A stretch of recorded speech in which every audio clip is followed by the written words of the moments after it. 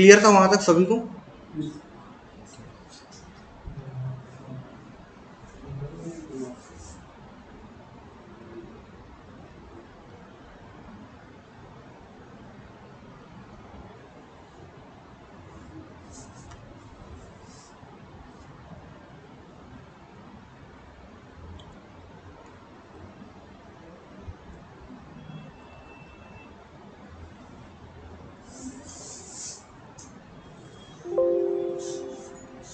ठीक है। तो लास्ट हम यहाँ पर थे।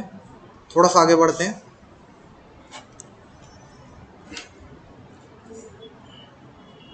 देखो, ये सब जो चीज़ है, ये तो अपन पहले डिस्कस कर चुके हैं। स्कोप वगैरह ये सब के बारे में। तो इस पर ज़्यादा नहीं जाएँगे। जस्ट अपन स्किप कर देंगे, थोड़ा समझ के। स्कोप इन एथिकल लेकिन, ठीक है? तो एक एवरेज सैलरी यहाँ पे दी गई है पर ईयर ठीक है? साइबर क्राइम डेली लाइक पिछले कुछ साल में पोस्ट कोविड 600 परसेंट हाइक हुआ है हुआ है इसमें, ठीक है? तो जिससे अपन को पता चलता है कि अगर जब साइबर क्राइम में हाइक हो रहा है तो ज़रूरत भी पड़ेगी डिमांड भी बढ़ेगी, ठीक है? और बताएँ, कुछ एस्टिमेट्स बताए हैं कि 2022 तक, अभी तक तो 2023 चल रहा है तो कुछ ज़्यादा चीज़ें और इंक्रीज कर दी होगी। अब पहले था 395 395 मिलियन यूएस डॉलर का इंडियन गवर्नमेंट स्पेंड करती थी, जिसको 550 तक पिछले साल कर दिया गया था। अब देखो, अब हम बात कर रहे थे साइबर लॉस के बारे में, कि हमें साइबर लॉस पता होने चाहिए। हर जगह के, हर कंट्री के अलग अलग साइबर लॉस होंगे, ठीक है?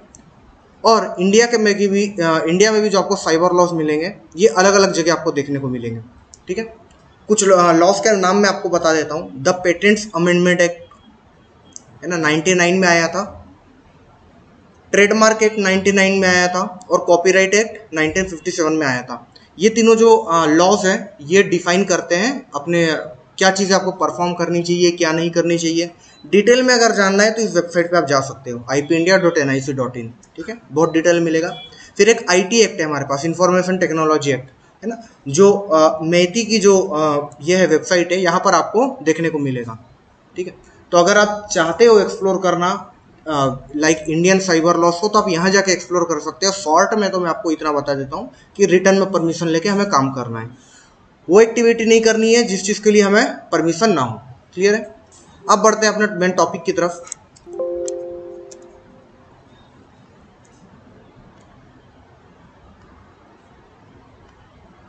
अच्छा सिस्टम सभी लेकर आए हो। नहीं लाए? ठीक है। सिस्टम कल से लाना चालू लेकर आना और अब अपन बात कर लेते हैं लिनक्स के बारे में, ठीक है? लिनक्स का एक ओवरव्यू लेंगे और फिर लिनक्स मशीन को सेटअप करेंगे और अपनी लैब सेटअप करके फिर अपन आगे वाला जो अपना पार्ट रहेगा, उसकी तरफ़ वर्क प्रैक्टिकल की तरफ़ मूव कर जाएँगे, ठीक है? तो एथिकल हैकिंग के अंदर हमने मतलब ये देखा है कि लिनक्स का बहुत ज़्यादा यूज़ लिया जाता है। क्यों यूज़ लिया जाता है? इसके पीछे भी रीज़न होंगे डेफिनेटली तो लिनक्स का ही क्यों यूज़ कर रहे हैं? विंडोज़ का क्यों नहीं कर रहे? देखो विंडोज़ से भी हैकिंग आप परफॉर्म कर सकते हो मैक ओएस से भी कर सकते हो, कोई दिक्कत वाली बात नहीं है, ठीक है? लिनक्स में भी आपको अलग अलग डिस्ट्रीब्यूशन मिलेंगे। हम काली का ही क्यों यूज़ कर रहे हैं? हम उबंटू का यूज़ क्यों नहीं कर रहे हैं? वो भी तो लिनक्स है। तो बस इतना सा फ़र्क है कि उबंटू जो है, उसके अंदर हमें प्री इंस्टॉल्ड टूल्स नहीं मिलेंगे। मुझे इंस्टॉल करने पड़ेंगे। काली के अंदर, क्योंकि एक hack hacking centric operating system है तो इसके अंदर आपको प्री इंस्टॉल्ड टूल्स काफ़ी सारे मिल जाते हैं। कुछ तो हमें बाहर से भी इंस्टॉल करने पड़ते हैं। ठीक है? अब लिनक्स की स्पेशलिटी जान लेते हैं। आज का जो एजेंडा है लिनक्स ऑपरेटिंग सिस्टम है क्या ये जानेंगे।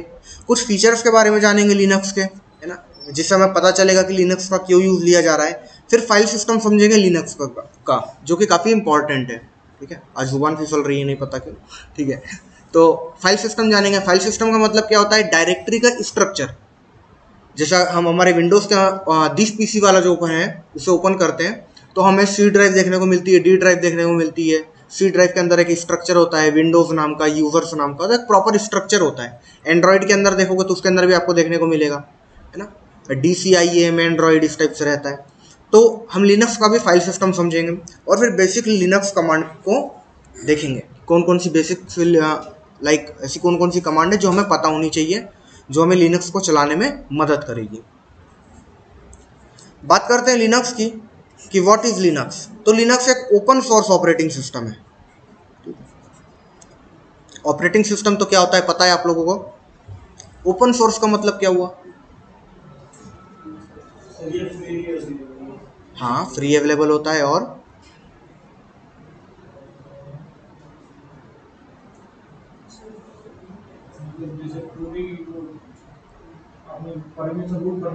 हाँ हाँ। कोई भी कस्टमाइजेशन हाँ, हाँ। फुल्ली कस्टमाइज कर सकते हैं डालनी विंडो में यूज़ करते हैं तो उसमें हम लोग सबसे पासवर्ड एक की होती है हाँ। विंडो में लिनक्स में नहीं होती है। बिल्कुल। ठीक है। और? अच्छा देखो अपन समझते हैं कि कोई भी सॉफ्टवेयर कंपनी अर्न कैसे करती है? ठीक है? बात करें अगर माइक्रोसॉफ्ट की तो वो अपनी अर्निंग कैसे करती है? विंडोज़ से, ठीक है? उसने क्या किया? उसने एक ऑपरेटिंग सिस्टम बनाया, एक सॉफ्टवेयर ही है, ठीक है? उस सॉफ्टवेयर को क्या किया उसने? बनाने के बाद कॉमर्शियल कॉमर्शियल पर्पज के लिए सेल पे डाल दिया। फिर चाहे सेल पे डाला या रेंट पे डाला, लोग उसका लाइसेंस को परचेस करते हैं या उस सॉफ्टवेयर को परचेस करेंगे, और जब तक वो वैलिड रहेगा, तब तक यूज़ करेंगे टाइम वैलिडिटी खत्म होगी तो वापस से परचेस करेंगे, है ना? कॉमर्शियल पर्पज के लिए। आप चीज़ों को बेचते हो। सॉफ्टवेयर भी ऐसे ही काम करते हैं बहुत सारे आपको परचेस करने पड़ते हैं इस तरीके से। इस तरीके से होता है आ, किसी भी नॉर्मल कोई सॉफ्टवेयर या कोई कंपनी अर्निंग करती है। अब ओपन सोर्स को समझ लेते हैं। ओपन सोर्स का मतलब होता है देखो दो वर्ड से मिलकर बना है पहला है ओपन दूसरा है सोर्स ठीक है? अब जब विंडोज़ लोगों का अवेलेबल होता है ठीक है? तो क्या कर सकते हैं वो उस चीज़ को यूज़ कर सकते हैं जैसा वो बना हुआ है ना वैसा ही यूज़ कर सकते हैं। जो उसके अंदर का जो कोड रहता है सोर्स कोड जो रहता है, वो किसी को अवेलेबल नहीं कराया जाता। क्या कराया जाता है? नहीं कराया जाता। ओपन सोर्स को अगर अपन तोड़े इन वर्ड को तो एक तो हो गया ओपन ओपन मतलब सभी लोगों के लिए अवेलेबल है। दूसरा हो गया सोर्स सोर्स का मतलब सोर्स कोड ठीक है? यानी कि एक ऐसा सॉफ्टवेयर जिसका कोड जिसका पूरा का पूरा कोड ओपनली अवेलेबल है सभी लोगों के लिए। यूज़ करने के लिए कस्टमाइजेशन करने के लिए मोडिफिकेशन मोडिफिकेशन करने के लिए, है ना? और आगे उसे अगर वो लाइक अपग्रेड करके अगर आगे बांटना चाहते हैं तो उस चीज़ के लिए। यानी कि हमें लाइसेंस परचेस नहीं करना होता है। हमें लाइसेंस परचेस नहीं करना होता है। क्लियर है? ओपन सोर्स एंड्रॉयड भी एक ओपन सोर्स ऑपरेटिंग सिस्टम है। है ना? गूगल ने बनाया ज़रूर था, लेकिन फिर उसने ओपन सोर्स कर दिया। तो कोई भी एंड्रॉयड के अंदर अपनी मॉडिफिकेशंस कर सकता है अपग्रेडेशन कर सकता है, ठीक है? अब देखो, जो चीज़ें ओपन सोर्स होती है ना, इसे चल, जब ये चीज़ ओपन है पूरी इसके लिए तो इस पर कोई ऐसा नहीं होता कि कोई एक पर्सन वर्क करता है। इसके ऊपर पूरी कम्युनिटी वर्क करती है, ठीक है? जैसे गिटअप पे आपने देखा होगा गिटअप पे प्रोग्राम्स लोग सॉफ्टवेयर बना के डाल देते हैं। तो वहाँ पे जो भी चाहे अपडेट्स कर सकता है है ना? तो उसे क्या करता है? कम्युनिटी चलाती है। अगर माइक्रोसॉफ्ट की बात करें तो जो जिन लोगों ने विंडोज़ ऑपरेटिंग सिस्टम को बनाया होगा या बना रहे होंगे, नया वाला ला रहे होंगे, उनकी टीम में कितने लोग होंगे आपके हिसाब से? तब भी दस, बारह, बीस, पचास, सौ, एक आसपास का गैस मारो। हाँ? हज़ार होंगे, पाँच हज़ार होंगे मान लेते हैं, पाँच हज़ार लोग होंगे, ठीक है? इस चीज़ को याद रखना कि अपन मान के चल रहे हैं, ज़्यादा से ज़्यादा पाँच हज़ार लोग होंगे जो विंडोज़ के प्रोजेक्ट पे काम कर रहे होंगे बाकी लोग दूसरे प्रोजेक्ट पे काम कर रहे होंगे, ठीक है? तो यहाँ पे हमने ये तो समझा कि लिनक्स जो एक ओपन सोर्स ऑपरेटिंग सिस्टम है और जो चीज़ें ओपन सोर्स होती है, वो फ्री टू यूज़ होती है। तो लिनक्स की सबसे खास बात भी ये है कि ये फ्री टू यूज़ है, बाकी ऑपरेटिंग सिस्टम की तरह आपको पे नहीं करना पड़ता है। तीसरी बात ये है कि क्योंकि ये ओपन सोर्स है है ना? इसका सोर्स कोड अवेलेबल है तो ये मॉडिफाई करने के लिए भी ओपन है ना? यानी कि अगर मैंने बनाया, काली को आज बना के लोगों ने अपलोड किया है, काली की वेबसाइट पे अवेलेबल है, आपको अगर आती है प्रोग्रामिंग आती है, आप अगर उसके अंदर चेंजेस करना चाहते हैं, आप अपने हिसाब से चेंजेस करो और एक नया ऑपरेटिंग सिस्टम बना लो। ना काली वाले को इस चीज़ से इजू होगा, ना किसी थर्ड पर्सन को इजू होगा। क्यों? क्योंकि वो ओपन सोर्स है, ठीक है? अभी किस पे बेस्ड है? ये बेस्ड है लिनक्स कर्नल पे। कर्नल क्या होता है? कर्नल क्या होता है गाइस नहीं पता? अच्छा। लिनक्स जिसने बनाया उसका नाम क्या है लिनक्स नहीं नहीं। उसका नाम लिनक्स कर्नल कर्नल नहीं है। हाँ। हाँ। देखो। कर्नल कर्नल एक इंटरमीडिएट की तरह काम करता है। यानी कि आपके डिवाइस का हार्डवेयर और सॉफ्टवेयर दोनों के बीच में इंटीग्रेशन हो पाए। चीज़ें अच्छे से काम करें, वहाँ पर कर्नल मदद करता है। जैसे कि फॉर एग्जांपल आपने सॉफ्टवेयर से आपने वॉल्यूम को फुल कर दिया। हार्डवेयर में भी वो चीज़ होनी चाहिए वॉल्यूम फुल होनी चाहिए, है ना? आपने अगर सॉफ्टवेयर में कैमरा ऑन किया, है ना? तो हार्डवेयर में कैमरा ऑन होना चाहिए। तो सॉफ्टवेयर और हार्डवेयर के बीच में जो पॉइंट है, जो इंटरेक्शन पॉइंट है, जो इंटरेक्ट करवा रहा है है ना? ये है हमारा कर्नल। क्लियर है? तो इसको हम बोलते हैं तो ये लिनक्स कर्नल पे बेस्ड है। ठीक है? नहीं नहीं हर ऑपरेटिंग सिस्टम में आपको कर्नल देखने को मिलेगा। जो लिनक्स ऑपरेटिंग सिस्टम है इसका जो कर्नल है इसका नाम है लिनक्स कर्नल ठीक है? फ़र्स्ट टाइम ये आया था जो लिनक्स ऑपरेटिंग सिस्टम 1991 में सितंबर 7 को लॉन्च हुआ था। जिस पर्सन ने इसे बनाया था जो कि आपका क्वेश्चन है उसका नाम था लिनक्स टोरवल्ड्स ठीक है? तो उसी के नाम पे लिनक्स इसका नाम रखा गया। अब देखो, कोई भी सॉफ्टवेयर है तो कोई ना कोई तो इसे सपोर्ट देता होगा। कोई ना कोई इसके अंदर डेवलपमेंट सर्विस वाला पार्ट कर रहा होगा। जैसे कि हमने बात करी कि जो माइक्रो विंडोज़ जिसने बनाया होगा, जिन लोगों ने जो टीम वर्क कर रहेगी उसके अंदर पाँच हज़ार लोग होंगे। है ना? ज़्यादा से ज़्यादा पाँच हज़ार होंगे, दस हज़ार भी मान लेता हूँ मैं, बहुत सारे लोग हैं। वो क्या कर रहे हैं? विंडोज़ ऑपरेटिंग सिस्टम को और बेहतर बनाने में कंट्रीब्यूट कर रहे हैं। लिनक्स में कौन कंट्रीब्यूट कर रहा है? कम्युनिटी कर रही है। कम्युनिटी मतलब डेवलपर प्रोग्रामर हैकर कोडर्स ये सभी लोग। ठीक है? लिनक्स की एक प्रॉपर कम्युनिटी बनी हुई है। ठीक है? आज के टाइम में कम्युनिटी ही इसे चला रही है सपोर्ट इसका सपोर्ट इसका दे रही है। अलग अलग लिनक्स के सॉफ्टवेयर कम्युनिटी बनाती है लिनक्स के। है ना? जो भी प्रोग्रामर डेवलपर कोडर्स वगैरह है, इन्हीं लोग इस पर काम कर रहे हैं। आकर बग टेस्टिंग ये सब जो चीज़ है, ये भी कम्युनिटी कर देती है। मुझे एक बात बताऊँ कम्युनिटी में कितने लोग होंगे? मिलियंस हो सकते हैं है ना? बिल्कुल मिलियंस होंगे। तो अगर देखा जाए तो एनी हाउ कुछ भी कर लो आप जो पाँच हज़ार लोग के कंपैरिजन में और एक तरफ़ है एक मिलियन लोग है ना? एक मिलियन से ज़्यादा भी हो, की भी होगी कम्युनिटी तो कौन सा ऑपरेटिंग सिस्टम ज़्यादा बेटर वर्क कर पाएगा? कौन सा ज़्यादा एनहेंस हो पाएगा? मिलियन वाला क्योंकि ज़्यादा लोग टेस्ट करने को ज़्यादा लोग उसके अंदर सुधार करने के लिए। तो ये लिनक्स के आ, ये हमारा लिनक्स है ठीक है? तो जस्ट इसके बारे में एक ओवरव्यू था कि लिनक्स आखिर है क्या? एक ओपन सोर्स ऑपरेटिंग सिस्टम है लिनक्स टोरवेल्ट ने बनाया था आज के टाइम में लेकिन इसे कम्युनिटी चला रही है।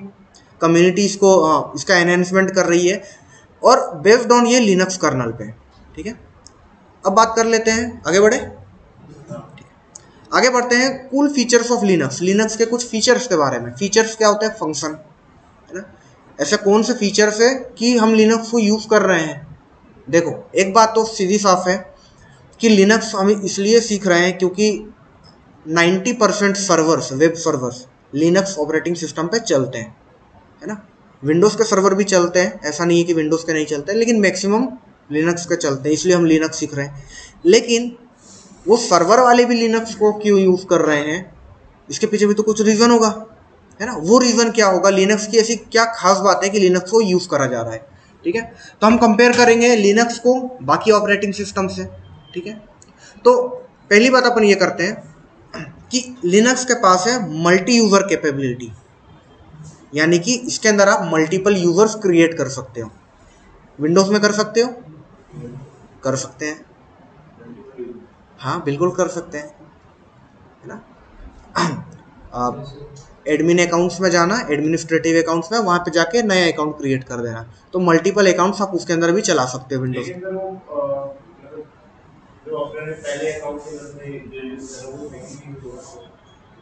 स्टोरेज है है हाँ देखो स्टोरेज डेटा सेम ज़रूर होगा। होगी नहीं नहीं मैं बता रहा हूँ। देखो मल्टीपल यूज़र्स कहने का मतलब ये है कि आप एक से ज़्यादा यूज़र अकाउंट वहाँ पे क्रिएट कर सकते हो। ठीक है? और यूज़र अकाउंट उसका मतलब ये है कि कुछ चीज़ों की आप रेस्ट्रिक्शन लगा सकते हो अपनी पर्सनल फाइल्स की, ठीक है? तो कोई नई बात नहीं है कि मल्टी यूज़र है। सब ऑपरेटिंग सिस्टम में आपको मल्टी यूज़र कैपेबिलिटी मिल जाती है। आज के टाइम में एंड्रॉयड में भी मिल जाती है। पैरेलल स्पेस का नाम सुना होगा आप लोगों ने, है ना? इसके बाद है मल्टीटास्किंग यानी कि एक टाइम में एक से ज़्यादा प्रोसेसेस या सॉफ्टवेयर को रन कराने की ताकत। ये भी है हमारे विंडोज़ के पास है। कोई नई बात नहीं है। ठीक है? आप चाहो तो आप इंटरनेट चलाते चलाते ब्राउज़र चलाते चलाते सॉन्ग भी प्ले कर लोगे, कोई तीसरी एक्टिविटी भी चालू कर लोगे गेम भी खेल लोगे, ठीक है? लेकिन जो तीसरा पॉइंट है पोर्टेबिलिटी ये आपको विंडोज़ में नहीं मिलेगी, ये आपको मैक में नहीं मिलेगी। पोर्टेबिलिटी मतलब क्या? पोर्टेबिलिटी मतलब पोर्टेबल होना फ्लेक्सिबल होना, कहीं पर भी एडजस्ट हो जाना, ठीक है? एग्जांपल देता हूँ। अभी हम इसे चला रहे हैं कंप्यूटर के अंदर। आप चाहो तो इसे मोबाइल में चला लो, आप चाहो तो इसे टेबलेट में चला लो, आप चाहो तो इसमें, इसे रेसबेरी पाई में चला लो। रेसबेरी पाई पता है? है ना छोटा सा कंप्यूटर होता है। तो ये सब जगह पे पोर्टेबल है। आप इसको अलग अलग डिवाइसेस में चला सकते हो। है ना? विंडोज़ की तरह नहीं है कि आपको जस्ट ये कंप्यूटर में ही चलेगा। क्लियर है? तो ये इसकी बहुत खास बात है। इसके बाद आता है सिक्योरिटी ये भी बहुत अच्छा पॉइंट है लिनक्स का कि लिनक्स ज़्यादा सिक्योर होता है, बाकी ऑपरेटिंग सिस्टम के कंपैरिजन में। ऐसा क्यों होता है? इस चीज़ को अपन डिस्कस करेंगे धीरे धीरे अभी ये थोड़ा सा लेकिन एक ओवरव्यू ज़रूर ले लेते हैं सिक्योर क्यों है? सिक्योर इसलिए है क्योंकि मल्टीपल रीजन है इसके पीछे। पहला रीज़न तो ये है कि लिनक्स आपको बाय डिफ़ॉल्ट बाय डिफ़ॉल्ट एक नॉर्मल या फिर गेस्ट यूज़र रखता है। है ना? गेस्ट यूज़र का मतलब नॉर्मल यूज़र का मतलब एक ऐसा यूज़र जिसके पास सब एक्टिविटी परफॉर्म करने की परमिशन नहीं होती है। वो लिमिटेड चीज़ें कर सकता है, ठीक है? तो जब आप लिनक्स को, जैसे ही आप लिनक्स सिस्टम को ऑन करोगे तो उसके अंदर आप जो यूज़र बनोगे, वो आप एक नॉर्मल यूज़र बनोगे। और सिस्टम के साथ कुछ भी करने की जो पावर होती है, वो किसके पास होती है? एडमिनिस्ट्रेटर यूज़र के पास होती है। सुपर यूज़र भी बोल सकते हैं उसे। रूट यूज़र भी बोल सकते हैं उसे। उसके पास होती है। तो ये हमें बाय डिफ़ॉल्ट एक नॉर्मल यूज़र बनाता है तो कुछ एक्टिविटीज़ हम परफॉर्म नहीं कर सकते जब तक हम सुपर यूज़र ना हो। ठीक है? इसका मतलब ये भी हुआ कि अगर किसी थर्ड पर्सन ने मेरे सिस्टम का एक्सेस ले लिया तो वो भी लिमिटेड एक्टिविटी परफॉर्म कर पाएगा। ठीक है? तो ये एक रीज़न हो गया लिनक्स का, है ना? सिक्योरिटीज़ की क्यों अच्छी है? और बात करते हैं और क्यों सिक्योरिटीज़ की अच्छी है। एक तो हमने अभी देखी यूज़र की यूज़र का हमने देख लिया रूट यूज़र नॉर्मल यूज़र इसके बाद इसको हर चीज़ में फ़ाइल परमिशंस की रिक्वायरमेंट रहती है। जैसे कि विंडोज़ में क्या होता है, हमने फ़ाइल को सॉफ्टवेयर डाउनलोड किया, चला लिया रन कर लिया, ठीक है? सॉफ्टवेयर डाउनलोड किया, कोई भी फ़ाइल डाउनलोड करी, उसका अंदर मॉडिफिकेशन कर दिया सेव कर दिया। लिनक्स में आप ये चीज़ नहीं कर पाओगे, ठीक है? परमिशन वैसे तीन टाइप की होती है, एक होती है रीड की परमिशन एक होती है राइट की परमिशन और तीसरी होती है एग्जीक्यूट की परमिशन ये तीनों वर्ड्स क्लियर है, क्या होते हैं? रीड मतलब फ़ाइल को पढ़ना फ़ाइल के अंदर का कंटेंट देखना. राइट मतलब फ़ाइल के अंदर चेंजेस परफॉर्म करना मॉडिफिकेशन करना. एग्जीक्यूट मतलब रन कराना फ़ाइल को रन कराना. तो लिनक्स के अंदर क्या होता है? बाय डिफ़ॉल्ट अगर आप कोई भी फ़ाइल को डाउनलोड करोगे, कोई भी फ़ाइल आपने बनाई तो बाय डिफ़ॉल्ट सिर्फ़ आपके पास रीड की परमिशन रहेगी. आप उसके अंदर चेंजेस भी परफॉर्म नहीं कर सकते, आप उस प्रोग्राम को रन भी नहीं करा सकते, कब तक? जब तक आप उसे, आपके एंड से परमिशन उसे प्रोवाइड ना करो। और परमिशन प्रोवाइड कौन करेगा? रूट यूज़र है ना? तो इस तरीके से लिनक्स की सिक्योरिटी अच्छी है, ठीक है? ये कुछ रीजन्स हो गए छोटे छोटे रीजन्स है, जो कि बहुत ज़्यादा इम्पैक्ट डालते हैं कि लोग लिनक्स को यूज़ क्यों करते हैं, ठीक है? बात करें सर्वर्स वगैरह की बात करें या फिर जो टेक जाइंट्स वगैरह कंपनीज़ वगैरह होती है, उन लोग क्यों यूज़ करते हैं? ठीक है? तो ये चीज़ें विंडोज़ में तो नहीं है, ठीक है? एक माइक्रोसॉफ्ट विंडोज़ वो विंडोज़ डिफेंडर होने से आपकी सिक्योरिटी नहीं बन जाती, सिर्फ़ एक एंटीवायरस होने से आपकी सिक्योरिटी नहीं बन जाती है। यहाँ पर भी कुछ चीज़ें हैं जिनसे फ़र्क पड़ता है। तीसरी चीज़ ये है कि लिनक्स में आप ऑटो रन नहीं करा सकते हैं। ऑटो रन का मतलब क्या होता है? ऑटोमेटिकली अपने आप चलना, है ना? तो जैसे कोई मालवेयर है मालवेयर मोस्टली क्या होते हैं? ऑटो रन हो जाते हैं। सिस्टम ऑन होता है, वो चालू हो जाते हैं। लिनक्स के अंदर आप ऑटो रन नहीं कर सकते। मैक्सिमम चीज़ों को, ठीक है? ऑटो रन ऐसे नॉर्मली नहीं होता इसमें। तो होगा क्या? अगर मालवेयर आपके सिस्टम में आ भी गया तो वो एग्जीक्यूट सेल्फ एग्जीक्यूट नहीं हो पाएगा। जैसे हम बात करें वॉर्म्स की। वॉम्स एक टाइप का मालवेयर है जो सिस्टम की रिसोर्सेज को खाता है। सीपीयू को कंज्यूम करेगा मेमोरी को कंज्यूम करेगा सिस्टम को स्लो कर देगा और सिस्टम को क्रैश करा देगा। वॉर्म की खासियत ये है कि ये ऑटो रन हो जाता है। जैसे आपका वायरस जो होता है, उसे एग्जीक्यूट कराने की ज़रूरत पड़ती है। ये आगे का पार्ट था मालवेयर का, बता रहा हूँ अभी। वायरस के वायरस और वॉर्म के बीच में बेसिक डिफरेंस ये होता है कि वायरस को आपको रन कराना पड़ता है। कैसे? आप उसे एक बार एग्जीक्यूट करवाओगे। उसके बाद वो एक्टिवेट होगा। वॉर्म को एक्टिवेट होने की ज़रूरत नहीं। आपके सिस्टम में आया, वो काम करना चालू कर देगा। रन कराने की ज़रूरत नहीं पड़ती है। तो ये जो ऑटो रन वाले फीचर रहते हैं ना, ये लिनक्स में नहीं रहते हैं, जिससे कि हमारा सिस्टम थोड़ा और सिक्योर हो जाता है। इसके बाद बात करें live C D live USB ये क्या है?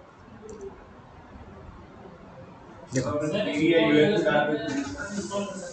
हैं? यूएसबी से चला सकते हैं। प्लग इन प्ले यही चीज़ बोलते हैं कि प्लग करो और प्ले करो। है ना?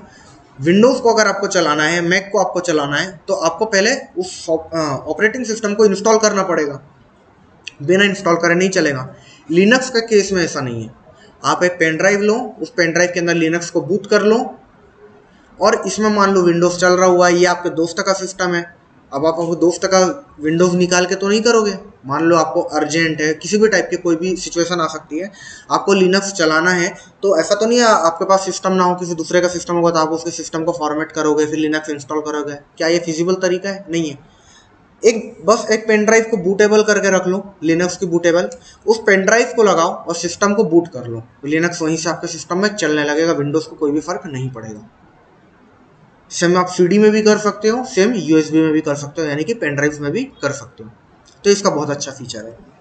इसके बाद बात करते हैं ग्राफिकल यूज़र इंटरफेस इस पॉइंट पे आने के पहले हम ये जानते हैं कि लोग विंडोज़ को क्यों यूज़ करते हैं? जैसे कि हम जो नॉर्मल यूज़र्स हैं, एक बार के लिए कंपनी को हटा देते हैं सर्वर डेटा सेंटर्स को हटा देते हैं।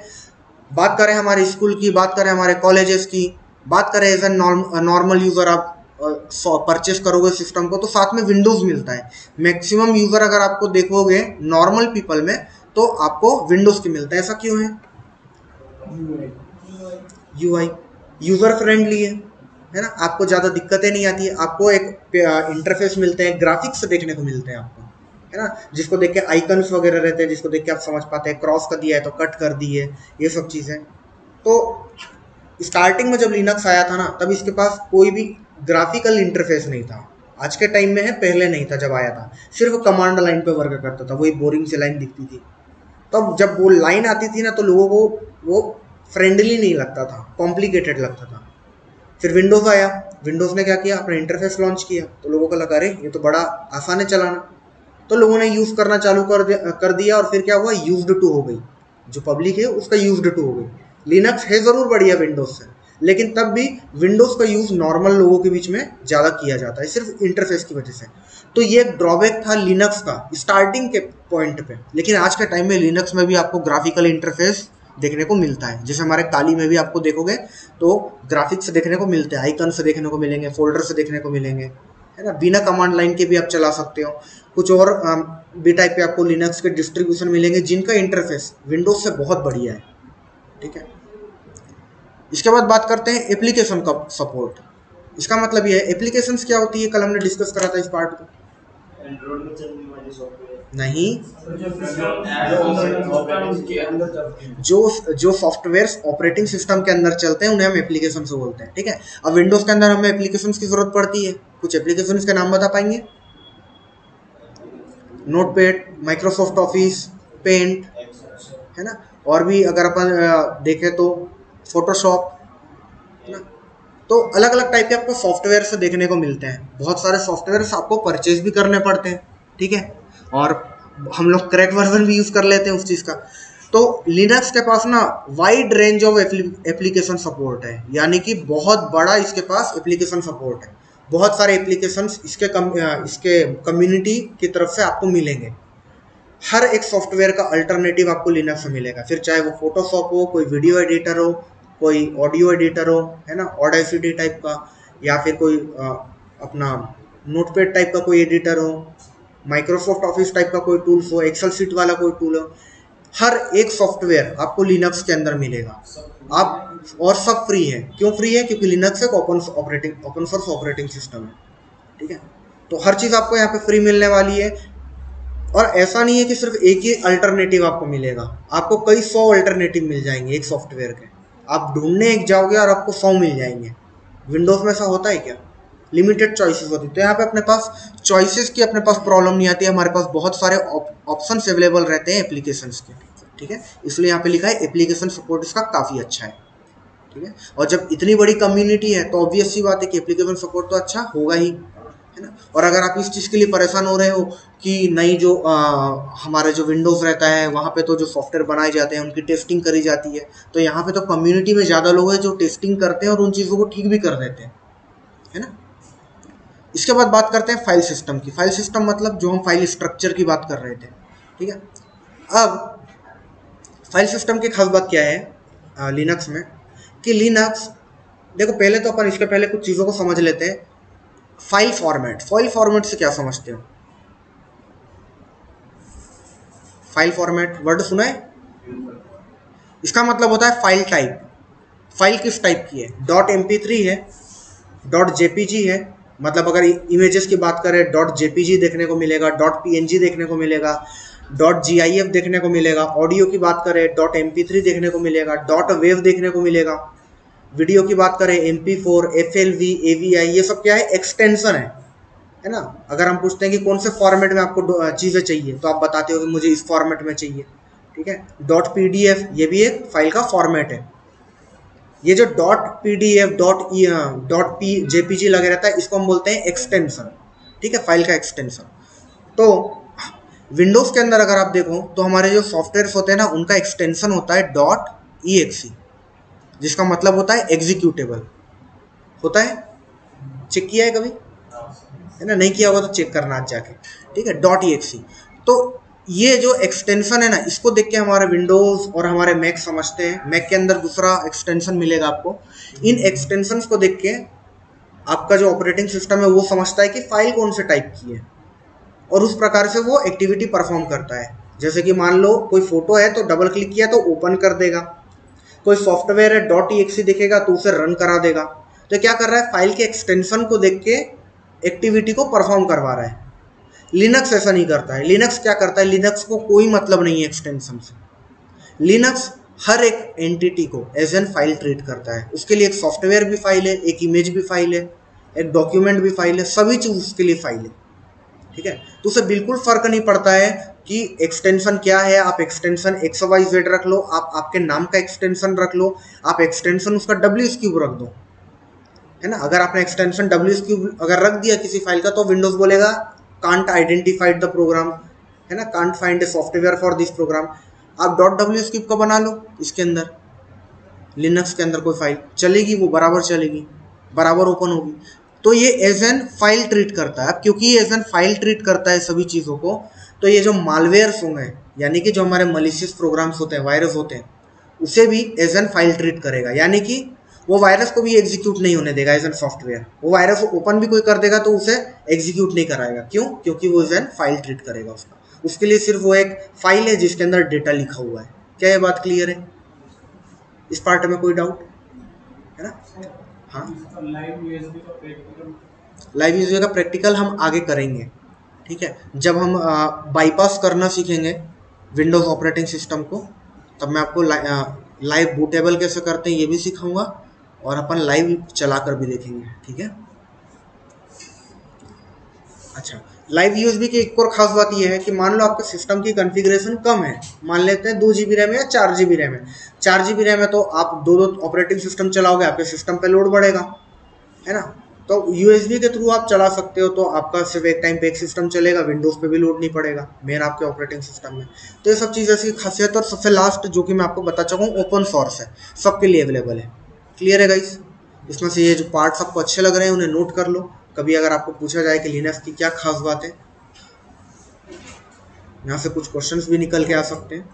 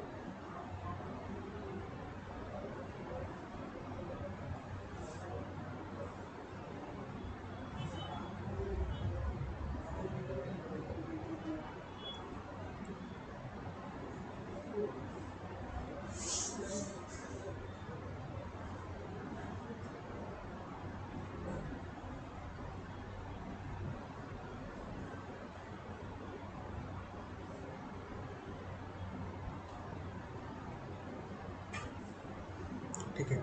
ये पूरा पार्ट क्लियर है कोई भी पॉइंट में डाउट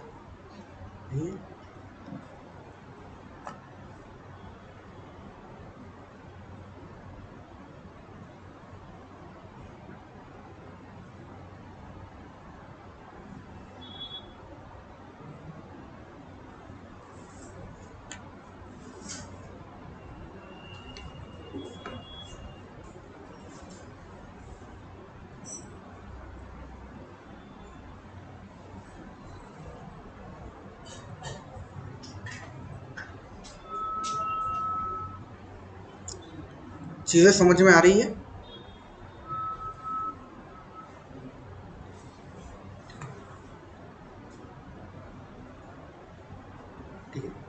आगे बढ़ते हैं। अब फ़ाइल सिस्टम समझ लेते हैं लिनक्स का यानी कि डायरेक्टरी का स्ट्रक्चर जैसे मैं विंडोज़ के अंदर सी ड्राइव डी ड्राइव देखने को मिलती है। लिनक्स के अंदर कौन कौन से फोल्डर्स होते हैं इसके बारे में जानेंगे। और उन फोल्डर्स के अंदर क्या होता है इस पार्ट को जानेंगे। अब देखो लिनक्स के अंदर जब आप आ, हम मशीन इंस्टॉल करके मैं आपको दिखाऊँगा तो बहुत सारे फोल्डर दिखेंगे। सभी फोल्डर के बारे में जानना भी ज़रूरी नहीं है। कुछ इंपॉर्टेंट फोल्डर्स है जिसके बारे में हमें पता होना चाहिए। वो फोल्डर्स की लिस्ट यहाँ पे दी गई है। एक एक से मैं आपको बता देता हूँ कि ये फोल्डर्स में होता क्या है। और आपको पता होना चाहिए कि कौन से फोल्डर में क्या है। ये आपके माइंड में रहनी चाहिए, है ना? क्यों क्योंकि जब हम किसी सिस्टम को कॉम्प्रोमाइज़ करेंगे या फिर हम किसी टूल को रन कराएँगे, तब काफ़ी बार हमें अलग अलग फोल्डर्स में जाना पड़ेगा। तो हमें पता होना चाहिए कि कौन से फोल्डर में कौन सी चीज़ें रखी रहती है। ठीक है? तो सबसे पहले हमारा फोल्डर आता है। देखो ये जो स्लैश लगा है ना स्लैश से हम ये बताते हैं कि हमें लोकेशन देने वाले ठीक है? तो पहला फोल्डर है बिन ठीक है? बिन का फुल फॉर्म है बाइनरीज बिन का मतलब है बाइनरीज बाइनरीज क्या होती है? हम्म? ज़ीरो और वन तो बाइनरी डिजिट्स होते हैं। बाइनरीज क्या होती है? गेस कर लो। है और हाँ बाइनरी लैंग्वेज में देखो बाइनरी लैंग्वेज में ज़ीरो और वन का यूज़ होता है जिनको हम बाइनरी डिजिट्स बोलते हैं। और यहाँ पर लिखा हुआ है बाइनरीज यहाँ पे ना बाइनरी डिजिट लिखा हुआ है ना बाइनरी लैंग्वेज लिखा हुआ है बाइनरीज ठीक है देखो। बाइनरीज का मतलब होता है छोटे छोटे प्रोग्राम्स छोटे छोटे सॉफ्टवेयर बहुत छोटे छोटे ठीक है? जो बाइनरी डिजिट से बने हुए हैं, या बाइनरी लैंग्वेज में बने हुए हैं, ठीक है? तो जो बिन नाम का फोल्डर है, इसका फुल फॉर्म है बाइनरीज इसके अंदर मुझे बेसिक प्रोग्राम देखने को मिलते हैं। बहुत छोटे छोटे प्रोग्राम देखने मिलते हैं बाई जिसको हम बाइनरीज बोलते हैं। जैसे कि L S C D M V ये करते क्या है? जो कि एक सिस्टम को चलाने में मदद करते हैं। जैसे फ़ाइल को ओपन करना फ़ाइल को क्लोज करना फ़ाइल को कॉपी करना फ़ाइल को मूव करना। इसका भी तो होगा, कोड तो होगा छोटा सा कोड तो होगा बिल्कुल। तभी तो ये फंक्शनैलिटी कर रहे हैं, है ना? तो ये हमें यहाँ पर देखने को मिलते हैं। तो अगर आपने बिन फोल्डर को डिलीट कर दिया तो आपका सिस्टम खत्म, ठीक है? उसके बाद आएगा एस बिन एस बिन का मतलब है सिस्टम बाइनरीज ठीक है? अब बाइनरीज तो देख लीजिए हमने सिस्टम बाइनरीज क्या है? सिस्टम बाइनरीज मतलब सिस्टम के प्रोग्राम्स ऐसे प्रोग्राम्स जो सिस्टम की वर्किंग में हेल्प कर रहे हैं। ठीक है? जैसे कि सिस्टम कंट्रोल इसको सिस्टम कंट्रोल बोलते हैं make F S F disk इन चीज़ों को आगे चल के जानेंगे तो एस बिन के अंदर मुझे देखने को मिलेंगे सिस्टम प्रोग्राम्स फिर आती है ई नाम के फोल्डर ईटीसी फोल्डर के अंदर हमें मिलती है कन्फिग्रेशन फ़ाइल कन्फिग्रेशन क्या होता है? कल शायद हमने डिस्कस किया था। कन्फिग्रेशन मतलब सेटिंग्स है ना? तो अगर मुझे कोई भी टूल की सेटिंग करनी है, देखो, अभी आपको पता, समझ में आएगा कि मैं क्यों अपने फोल्डर के बारे में पढ़ रहे हैं। कोई टूल आपने डाउनलोड किया ठीक है? कोई टूल आपको मिला है, आपको उसकी सेटिंग्स चेंज करनी है, उसकी कन्फिग्रेशन करनी है तो आपको ईटीसी फोल्डर में जाना पड़ेगा। है ना? इसलिए हम इस फोल्डर के बारे में पढ़ रहे हैं। तो कन्फिग्रेशन फ़ाइल आपको ईटीसी के अंदर देखने को मिलेगी। फिर आता है टेम्प इसके लिए तो बताने की ज़रूरत नहीं। टेम्पररी फाइल्स ठीक है? फिर देखो, एक फोल्डर आता है यूज़र बिन है ना? यूज़र फोल्डर के अंदर एक बिन नाम का फोल्डर होता है। ये ये वाला बिन नहीं है, ये दूसरा है यूज़र के अंदर बिन है ना? तो यूज़र बिन के अंदर मुझे एप्लीकेशन देखने को मिलती है। कौन सी एप्लीकेशन प्री इंस्टॉल्ड एप्लीकेशन यानी कि प्री इंस्टॉल्ड सॉफ्टवेयर जो भी होंगे, ठीक है? प्री इंस्टॉल्ड सॉफ्टवेयर वो मुझे यूज़र बिन के अंदर देखने को मिलेंगे। है ना? बिन का मतलब बाइनरीज हुआ यूज़र की बाइनरीज कौन सी बाइनरीज एप्लीकेशन की बात हो रही है यहाँ पे। ठीक है? अब जब आप लिनक्स ओपन करोगे तो कोई भी सॉफ्टवेयर आप ओपन कर लो, कोई नोटपैड ओपन कर लो आ, कोई नेटवर्क स्कैनिंग का टूल ओपन कर लो जो पहले से इंस्टॉल है वो आपको यूज़र बिन के अंदर मिलेगा ठीक है? अब वही सॉफ्टवेयर जो यूज़र बिन में है यानी कि वही प्री इंस्टॉल्ड सॉफ्टवेयर की कुछ सपोर्ट फाइल्स होती है कुछ डिपेंडेंसीज होती है जो सॉफ्टवेयर को मदद करती है एक्स्ट्रा फंक्शनैलिटी में ठीक है? तो वो जो चीज़ें वो हमें देखने को मिलती है यूज़र शेयर के अंदर। जो यूज़र बिन के अंदर जो प्रोग्राम्स थे वही प्रोग्राम्स की सपोर्ट फाइल्स यानी कि वो जो सॉफ्टवेयर है, उसको एक्स्ट्रा फंक्शनैलिटी में जो फाइल्स मदद करती है सपोर्ट एंड डेटा फाइल्स वो मुझे देखने को मिलती है यूज़र शेयर के अंदर, ठीक है? अब हमने बात करी थी कि लिनक्स के अंदर मल्टीपल यूज़र्स आप बना सकते हो, ठीक है? तो जब भी आप कोई यूज़र क्रिएट करोगे, जितने भी यूज़र क्रिएट करो, वो आपको होम डायरेक्टरी के अंदर मिलेगा। एक होम नाम का फोल्डर होगा, ठीक है? और होम नाम के फोल्डर के अंदर आपको अलग अलग यूज़र मिलेंगे। मान लेते हैं आपने एक यूज़र बनाया काली नाम का तो काली नाम का मिलेगा। एक यूज़र बनाया आपने मयंक का नाम का तो मयंक नाम का फोल्डर मिलेगा। एक यूज़र बनाया आपने डब्ल्यू एस क्यूब नाम का तो ये भी गेस्ट यूज़र है, ये भी गेस्ट यूज़र है, ये भी गेस्ट यूज़र है। मैंने बताया था कि लिनक्स में बाई डिफ़ॉल्ट आप एक नॉर्मल यूज़र रहते हो। तो जितने भी यूज़र्स आप बनाओगे, है ना, उन यूज़र्स की पर्सनल डायरेक्टरी आपको होम फोल्डर के अंदर देखने को मिलेगी। क्लियर है? तो वही लिखिए कि पर्सनल डायरेक्टरी ऑफ़ यूज़र्स एक एग्ज़ाम्पल भी दिया गया है होम के अंदर डब्ल्यू स्क्रिप्ट है। तो डब्ल्यू स्क्रिप्ट क्या है? एक गेस्ट यूज़र है, एक नॉर्मल यूज़र है। ठीक है? और एक रूट नाम का फोल्डर होता है। रूट जो रूट फोल्डर के अंदर मुझे होम डायरेक्टरी मुझे डायरेक्टरीज देखने को मिलती है सुपर एडमिन की, यानी कि सुपर यूज़र की। ठीक है? तो इसे देख लो, इसमें कोई डाउट है तो पूछ लो, फिर हम आगे बढ़ेंगे। आप लोगों को क्या करना है? इस पॉइंट को नो, इसे नोट कर लो। ठीक है? आपको ये चीज़ें याद होनी चाहिए कि कौन से फोल्डर में कौन सी चीज़ें अवेलेबल होती है। और फिर जब अपन मशीन को इंस्टॉल करेंगे तो आपको क्या करना है? उन फोल्डर्स में जाके देखना है कि वहाँ पे ये फ़ाइल सच में अवेलेबल है या फिर नहीं है। ठीक है?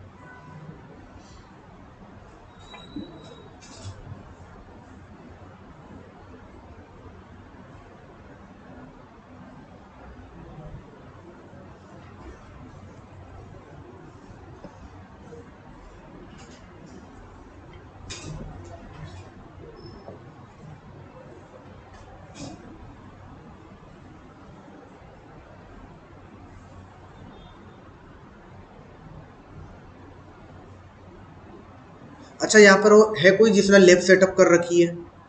काली को डाउनलोड इंस्टॉल करके रखा है।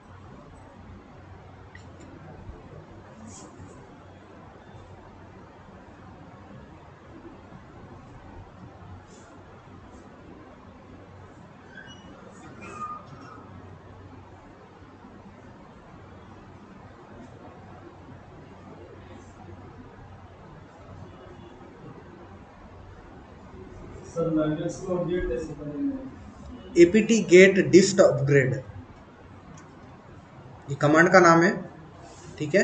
लेकिन अपडेट मत करना इसलिए मत करना क्योंकि जब भी आ, कोई नया अपडेट आता है ना तो कोई ना कोई अच्छा पुराने अच्छे टूल को ना वहाँ से निकाल देता है रिपोजिटरी में से। कोई ना कोई फीचर को भी कम कर देता है कुछ चीज़ें ख़राब कर देता है। चीज़ें अच्छी तो लेकर ज़रूर आता है लेकिन मैंने ऐसा नोटिस किया कि अपडेट के साथ ना बहुत चीज़ें को ख़राब भी कर देता है जो पिछले वर्जन में काफ़ी अच्छी थी। हाँ। बिल्कुल काम कर सकता है। सॉफ्टवेयर को बस हमें अपडेट रखना पड़ेगा। ज़रूरत नहीं है कि मेन डिस्ट्रीब्यूशन को अपग्रेड आप अपडेट करो। लेकिन अगर आप करना चाहते हो तो कमांड में लिख देता हूँ। A P T get dist upgrade है ना, जिससे डिस्ट्रीब्यूशन अपडेट हो जाएगा।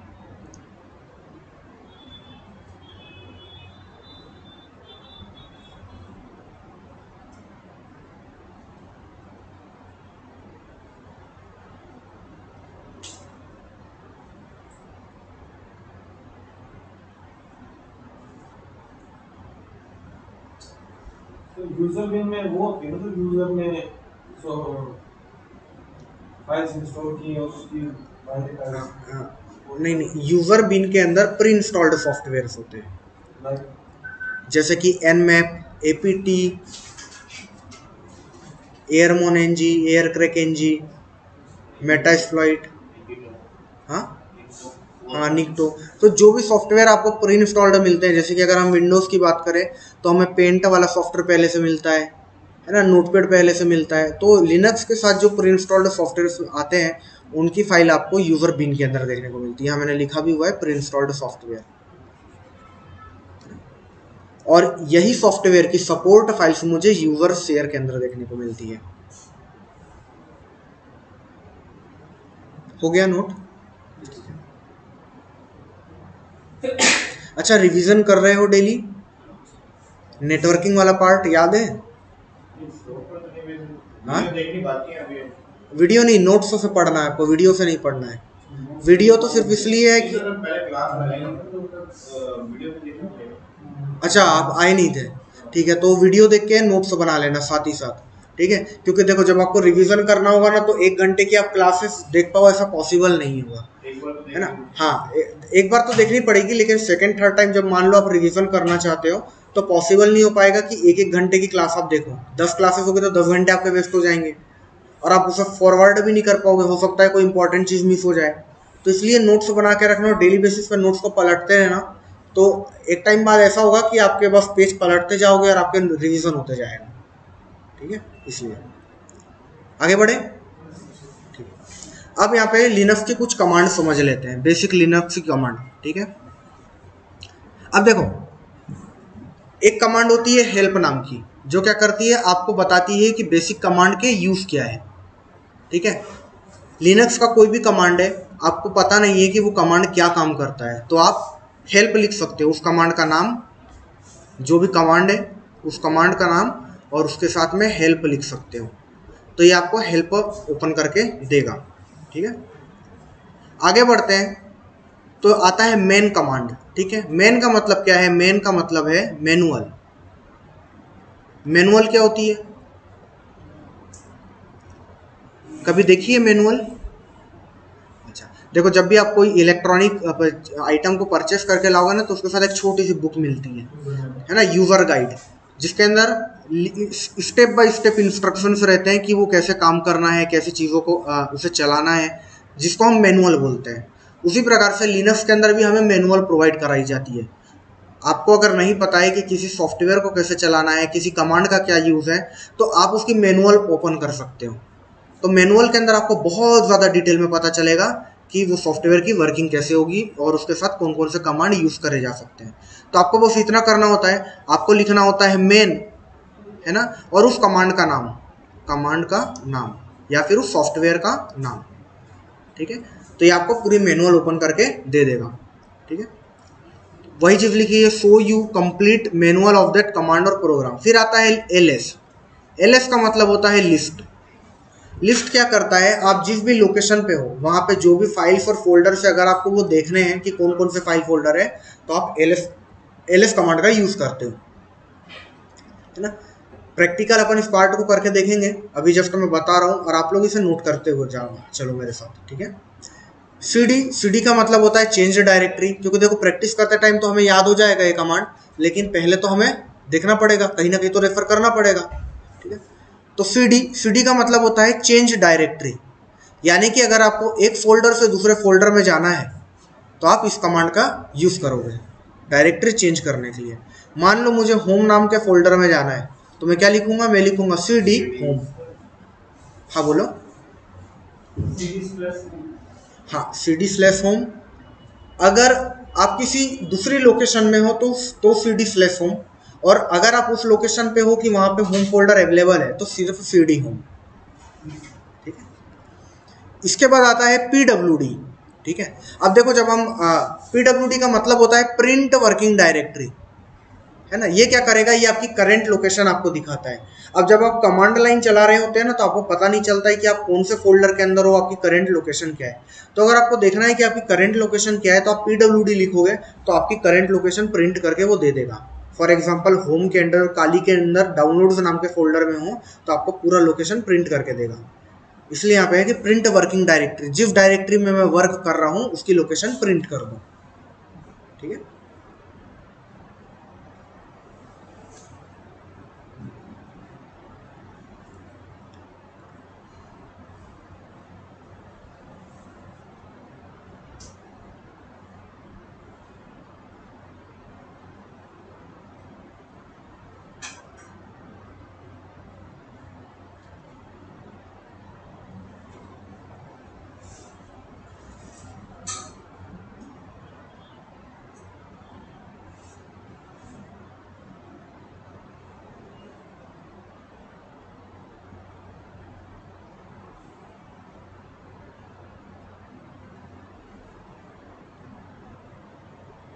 आपने कर लिया नोट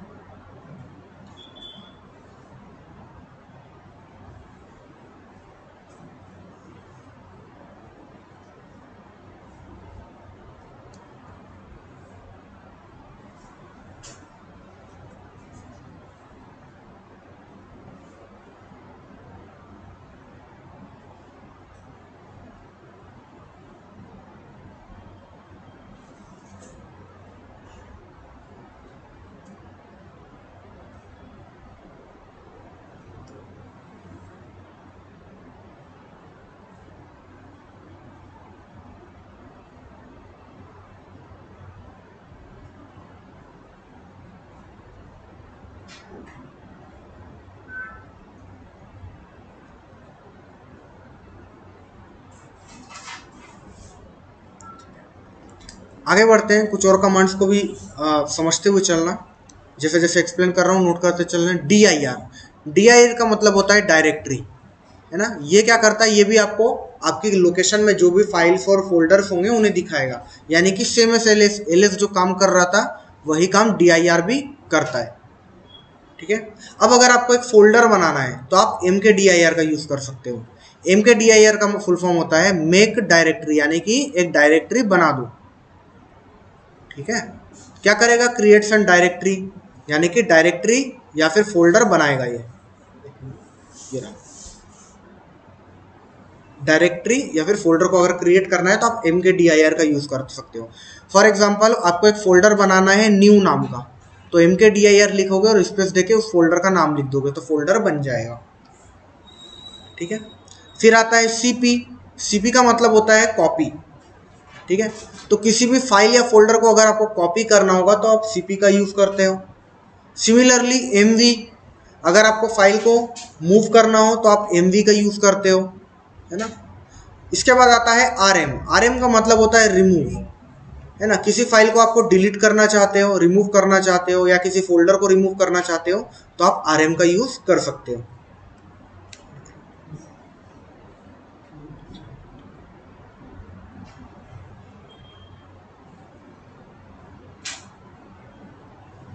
अच्छा ये जो मैं पेन से लिख रहा हूँ, दिख रहा है आप लोगों को प्रॉपर रेड वाला?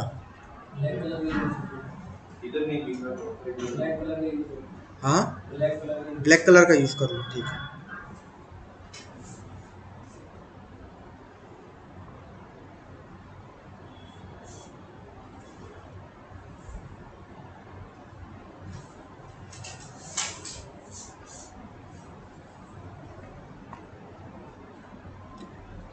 अब देखो, अब जैसे कि मैंने आपको बताया था कि लिनक्स को जब आप चालू करोगे ना तो आप एक नॉर्मल यूज़र रहते हो, है ना? नॉर्मल यूज़र रहते हो और आपको एक रूट यूज़र बनना है, यानी कि आपको एक सुपर यूज़र बनना है। तो आप क्या करोगे? आप लिखोगे sudo S U sudo S U का मतलब होता है सुडो का मतलब होता है डू यानी कि करो। एस यू का मतलब होता है सुपर यूज़र ठीक है? तो आप सूडो एस से ये बताते हो कि मुझे सुपर यूज़र बना दो। तो आप सूडो एस लिखोगे वो आपसे पासवर्ड मांगेगा पासवर्ड एंटर करोगे और आप एक सुपर यूज़र बन जाओगे। ठीक है? फिर आता है कैट कैट का फुल फॉर्म होता है कॉन कैटिनेट कॉन कैटिनेट ठीक है? कॉन्केटिनेट मतलब होता है जोड़ना दो फ़ाइल को आ, वो करना मर्ज करना। लेकिन कैट कमांड का हम यूज़ क्यों करते हैं? किसी भी फ़ाइल का कंटेंट देखने के लिए। मान लो कोई फ़ाइल है उसके अंदर लिखा हुआ है एक्स वाई जेड कोई प्रोग्राम लिखा हुआ है। अब आप चाहते हो कि उस फ़ाइल को आप ओपन ना करो, लेकिन बिना ओपन करे आपको उसका कंटेंट दिख जाए टर्मिनल पे तो आप उस फ़ाइल को कैट कर सकते हो। जैसे कि मान लो कैट करके अगर मैंने किसी फ़ाइल का नाम दे दिया तो उस फ़ाइल के अंदर जो भी लिखा होगा, वो मुझे दिखने लग जाएगा। फ़ाइल लेकिन ओपन नहीं होगी टर्मिनल पे दिखेगा, है ना? तो मान लो उस फ़ाइल के अंदर अगर हेलो वर्ल्ड लिखा था तो मुझे टर्मिनल पे ही हेलो वर्ल्ड दिखने लग जाएगा। अब विंडोज़ के अंदर हमने देखा है कि जब हम एडिट करते हैं टेक्स्ट को तो टेक्स्ट एडिटर का यूज़ करते हैं, जिसका नाम है नोटपैड और मैंने आपको बताया कि लिनक्स के पास हर वो सॉफ्टवेयर का अल्टरनेटिव है। तो जो नोटपैड का अल्टरनेटिव है हमारे लिनक्स के अंदर, उसका नाम है नैनो है ना? ये एक अल्टरनेटिव है, दूसरा है जी एडिट और भी आपको मिल जाएँगे एडिटर विम मिल जाएँगे, और भी बहुत सारे मिल जाएँगे। फ़िलहाल हम अभी दो एडिटर के बारे में बात कर रहे हैं फ़ाइल एडिटर एक है नैनो दूसरा है जी एडिट ठीक है? अब देखो, एक चीज़ और मैंने बताई थी कि आपकी जो आप, अगर आप कोई भी फ़ाइल को डाउनलोड करते हो या आप कोई भी फ़ाइल को बनाते हो, तीन टाइप की परमिशन होती है हमारे पास। बाय डिफ़ॉल्ट कितनी परमिशन रहती है हमारे फ़ाइल के पास? हाँ? एक रहती है, दो रहती है? दो है रहती है? एक रहती है। सिर्फ़ रीड करने की परमिशन रहती है। ठीक है? अब रीड करने करने की परमिशन है, मान लो मैंने कोई फ़ाइल डाउनलोड करी या मैंने कोई फ़ाइल बनाई, मेरे पास तो सिर्फ़ रीड करने की परमिशन है। तो मैं अगर उस फ़ाइल को रन कराना चाहता हूँ या मैं उस फ़ाइल के अंदर चेंजेस करना चाहता हूँ तो मुझे परमिशन तो पहले देनी पड़ेगी उस फ़ाइल को। तो उस फ़ाइल को मैं कैसे परमिशन दूँगा? मैं परमिशन दूँगा C H M O D की मदद से। है ना? इसका मतलब होता है चेंज मोड चेंज मोड ठीक है? क्या करते हैं? डायरेक्टरी या फिर फाइल्स की अगर आपको परमिशन देनी है, कोई भी परमिशन देनी हो या कोई भी परमिशन उससे वापस लेनी हो तो आप C H M O D का यूज़ करते हो। ठीक है? C H M O D plus का साइन के साथ आप परमिशन दे सकते हो। C H M O D minus के साथ आप परमिशन ले सकते हो। जो भी परमिशन देनी होगी या जो भी परमिशन लेनी होगी उसका कैरेक्टर भी आपको साथ में लिखना पड़ेगा। जैसे कि एग्जीक्यूट के लिए एक्स रीड के लिए आर राइट के लिए डब्ल्यू तो plus X plus R plus W या फिर minus X minus R minus W ठीक है? क्लियर है यहाँ तक? प्लस माइनस देखो। हाँ देखो। C H M O D permission देने और लेने के लिए यूज़ किया जाता है। अगर आप परमिशन देना चाहते हो तो आपको प्लस लिखना पड़ता है। अगर आप परमिशन लेना चाहते हैं तो आपको माइनस लिखना पड़ता है। अब जो भी परमिशन आपको देनी है, वो आपको मेंशन करनी पड़ेगी। जैसे रीड की परमिशन के लिए आर डब्ल्यू के राइट के लिए डब्ल्यू एग्जीक्यूट के लिए एक्स और वापस लेने के लिए बी आर डब्ल्यू एक्स जो भी आप कैरेक्टर यूज़ करोगे, वाला परमिशन ले ली जाएगी या फिर असाइन कर दी जाएगी। क्लियर है? फ़ाइल भी आपकी रन नहीं होगी। आप एक प्रोग्राम बनाओगे, प्रोग्राम रन नहीं होगा जब तक आप उसे एग्जीक्यूट की परमिशन नहीं दोगे। तो आप क्या करोगे? C H M O D plus X दोगे उसे है। ना? और इसके आगे हम फ़ाइल का नाम दे देते हैं। उस फ़ाइल का नाम दे देते हैं जिसे हमें परमिशन असाइन करनी है। क्लियर है?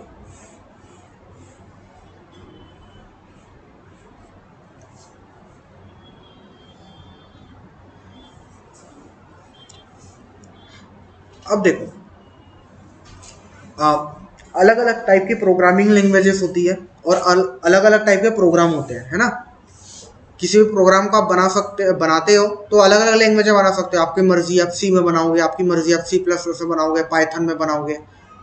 तो एक चीज़ नोटिस करना कि जो भी प्रोग्राम आप बनाते हो ना उसका भी एक एक्सटेंशन होता है। अभी थोड़ी देर पहले मैंने बताया था एक्सटेंशन क्या होता है। तो पाइथन प्रोग्राम रहेगा तो उस फ़ाइल का लास्ट में देखना डॉट पाई रहेगा। रहता है। एच फ़ाइल रहेगी तो उस फ़ाइल के लास्ट में डॉट एच रहेगा। ठीक है? और बताओ विंडोज़ का प्रोग्राम है तो उसके लास्ट में डॉट ई रहेगा। ठीक है? उसी प्रोग्राम उसी तरीके से जो लिनक्स के अंदर जो लैंग्वेज यूज़ करी जाती है शेल प्रोग्रामिंग या फिर बेस्ट प्रोग्रामिंग है ना? उसका जो एक्सटेंशन होता है, वो होता है डॉट एस एच जिसका मतलब ये है कि ये एक शेल फ़ाइल है। है ना? लिनक्स के अंदर यूज़ करे जाने वाली फ़ाइल है, ठीक है? लिनक्स के जो कमांड अभी हमने पढ़े हैं, ये भी शेल कमांड्स है। अगर हम इन कमांड्स का यूज़ करके एक स्क्रिप्ट बना दें तो एक प्रोग्राम बन जाएगा, ठीक है? आगे चल के पेन टेस्टिंग में शेल प्रोग्राम्स बनाना सीखेंगे। फ़िलहाल के लिए जस्ट बता रहा हूँ।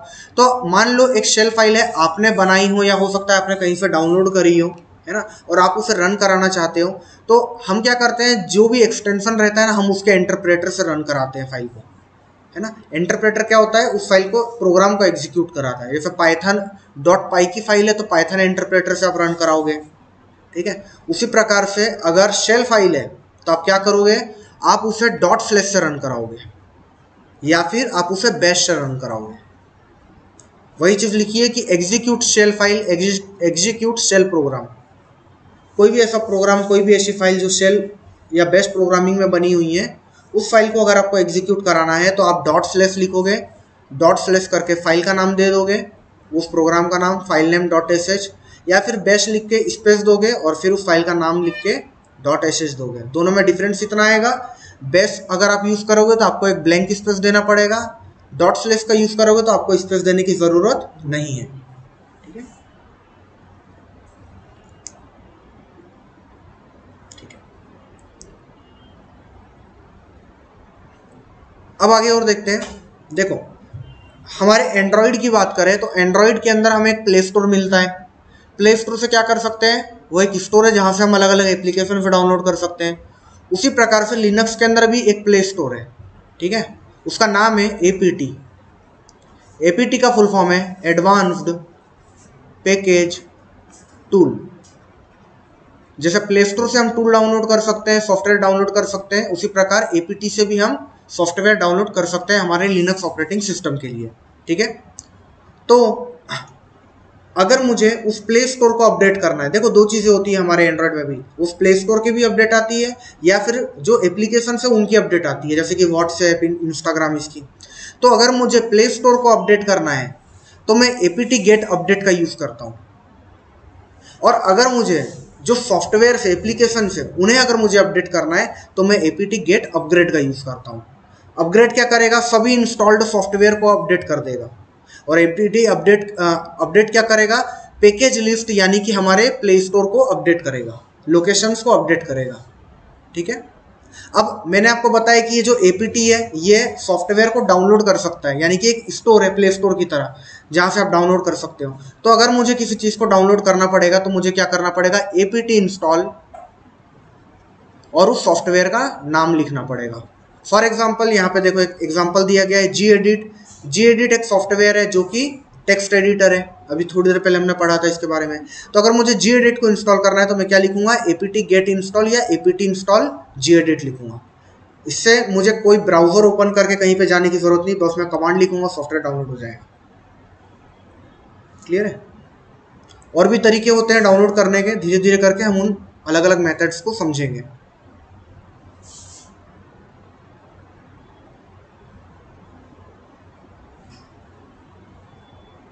इस पार्ट में कोई भी डाउट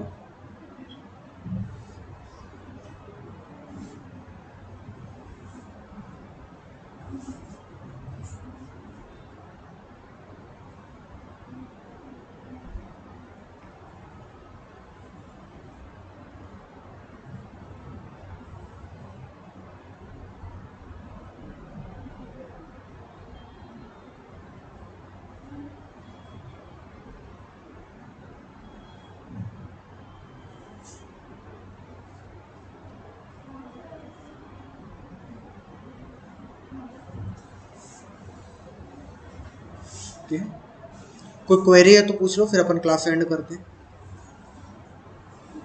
नहीं है? ठीक है। तो इस चीज़ को अच्छे से याद कर लेना। आज काफ़ी सारी चीज़ें देखी अपन ने अलग अलग कमांड से देखी और डायरेक्ट फ़ाइल सिस्टम देखा। इसे अच्छे से क्लियर कर लेना, फिर हम आगे कंटिन्यू करेंगे। ठीक है? नेक्स्ट एक दो क्लास में हम प्रैक्टिकल की तरफ़ मूव कर जाएँगे। प्रैक्टिकल की तरफ़ मूव करेंगे, तब तक आप लोगों को कमांड याद होनी चाहिए कि कौन सी कमांड क्या करती है। वैसे प्रैक्टिस करके तो हम याद कर ही लेंगे, लेकिन रिवीजन करके रखना। ठीक है गाइस हाँ? फुट प्रिंटिंग अपन देखेंगे जस्ट ये लिनक्स का पार्ट खत्म होगा तब। हाँ? लेफ़्ट सेटअप के बाद।